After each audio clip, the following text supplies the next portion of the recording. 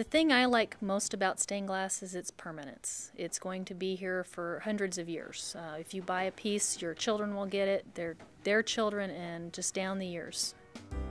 The first stage in doing any stained glass window is uh, getting a design that is right for you and your home. Once everybody's on the same page with the design, then we pick the colors for the glass because it's very important. You're going to live with this window, as I said, a long, long time. And once the colors are picked out and they're approved, then we can actually start building the window. For instance, on the iris, we'll lay out all the blue pieces, all the green pieces, all the background pieces. And once that's done, we can cut them all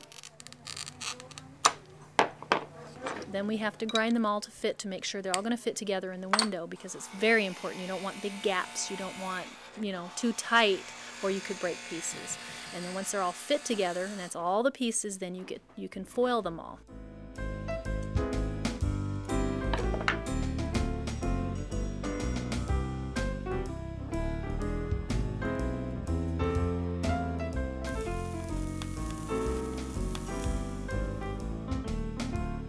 The beauty of glass is permanent and it what can you say? It's just beautiful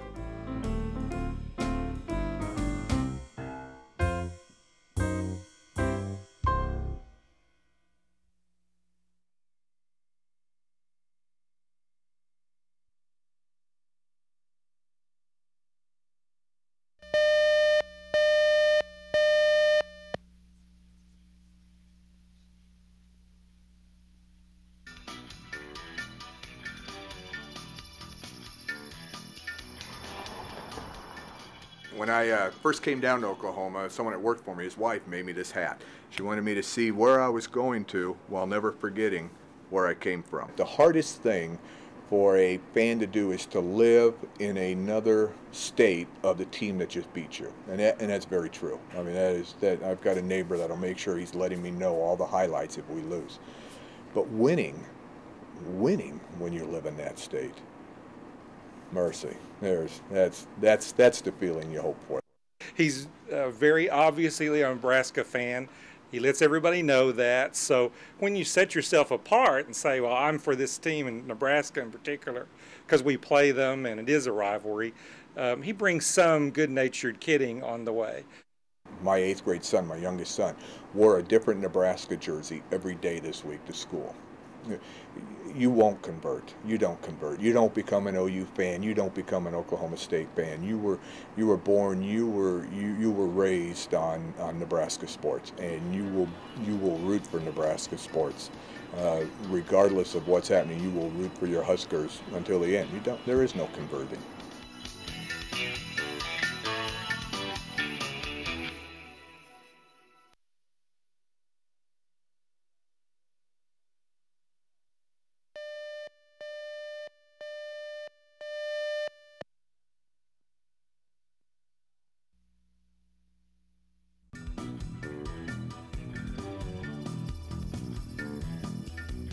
Okay, the big night's finally here. Come on, this is how we're gonna do it. Now I've got it set up so Lance is gonna come in and interview Hillary and I about dating as young couples here in Lincoln and here in Nebraska in general and what there is to do. Just a bunch of bogus questions, really. And what we're gonna have is the waitress then, during the interview, the interview, the waitress will walk up, she'll have the flower and ask, is there anyone that would like to purchase a flower for the young lady? Well, because one year ago, this is where it all happened. And one year ago, I bought her a rose. So right. she'll come out with the flower. I'll take the oh, flower. Sure. I'll go down to one knee. I'm about to pop the big question. Hillary, I love you very much. And I love you so much but I want to know if you'll marry me. yes, of course.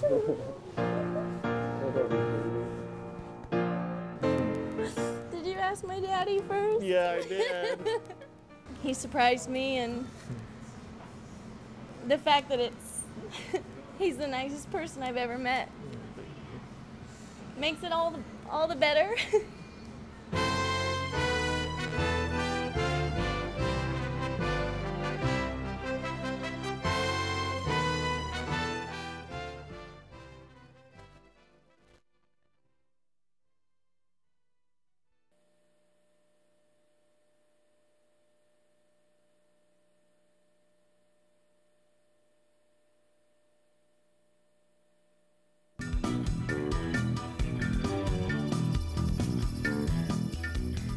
It's 11:30 and most of you have gone to bed already, but here at the Lincoln Journal Star newsroom, we're working feverishly to get the paper out to you first thing in the morning. We've just received the last negative from the newsroom and we're going to expose this on a plate for the printing press. Now this is a, a finished plate. This plate is ready to go on the press. We hang it on the press with, with magnets. It's a steel back plate, so we'll hang that on the press. Uh, we'll crank up the press and we start applying ink to the plate. Those image areas accept ink. Uh, it's a raised surface, it's a raised printing surface, so we apply ink to those raised surfaces and then that is, goes around the cylinder and each time it goes around the cylinder we apply ink and then that's applied to the paper. Once we release good copy, we'll release them to the packaging department. They go down, they go into a stacker, they're stacked up into bundles. They then take that completed packaged paper, they put it into uh, counted out bundles. Those are strapped, wrapped, and uh, put a bundle top to identify which carrier or what location those papers go to. And those papers go to, to circulation. And there you have it. It's as easy as that. While you were sleeping, we put 85,000 newspapers on 85,000 doorsteps overnight.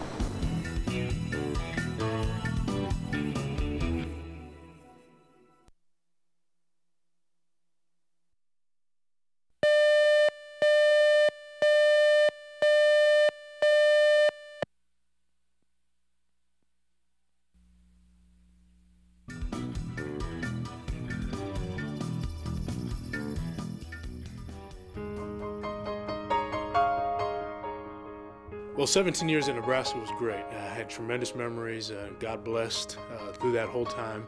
I was a part of three national championship teams. I would have never believed that that would have taken place prior to coming to Nebraska. So I, I got way more than I deserved, without a doubt.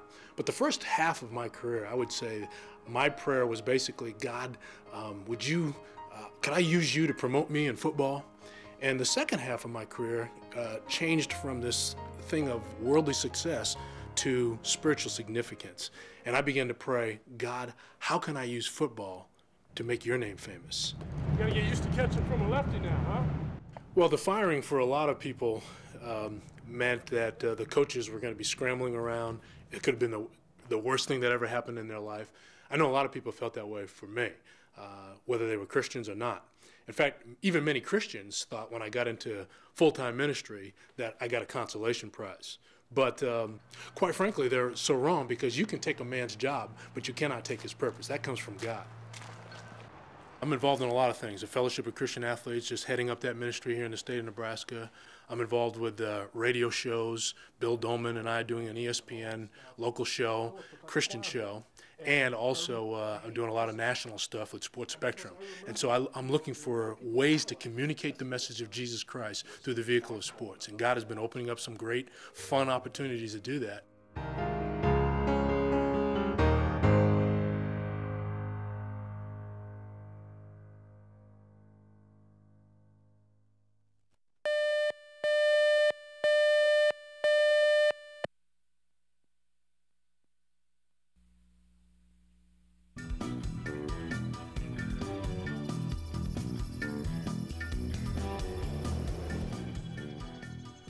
We're here today because we're very excited because my little brother Daniel Polson is coming home.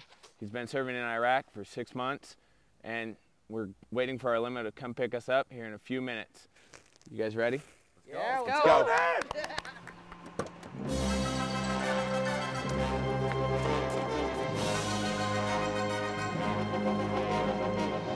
I feel really great. Um, it may only be the first day of December, but as far as I'm concerned, it's Christmas Day. This is the best Christmas gift I could have ever gotten. I don't need anything else. Daddy's gonna be home, he's gonna be safe.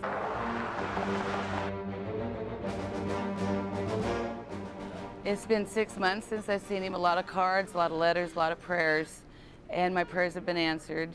And um, I am just thank God for this day.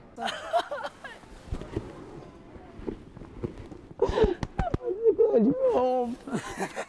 Tell us, how does it feel to be back? Feels awesome. I almost missed my flight, but I'm glad to see these guys.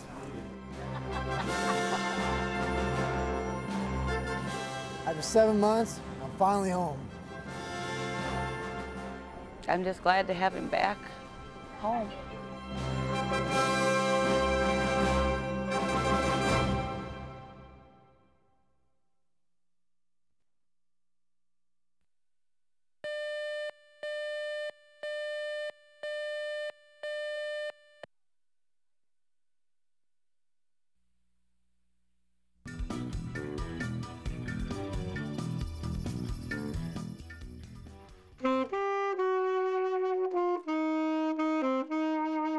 Well, I had a stroke on February 26, 2000, which, uh, as a musician, was was uh, an enormous challenge. And uh, my wife was really the impetus behind talking to Jeff about possibly constructing a one-handed instrument. I thought it was a terrible idea, but but um, anyway, she won out and proved herself right in the long run, as she usually does.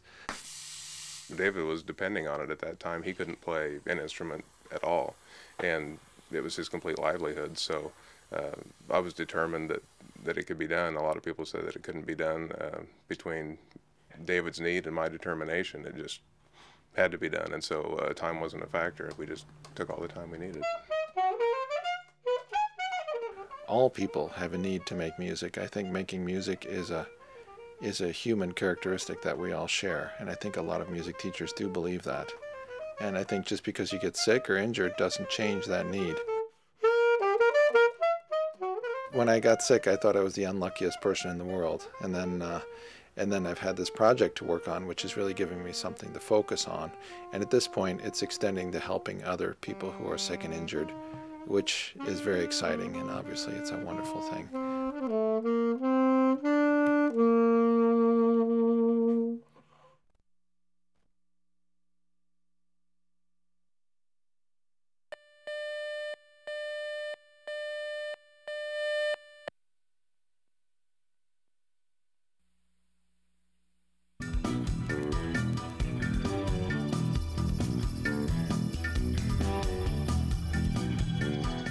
Okay, magic needs to start happening.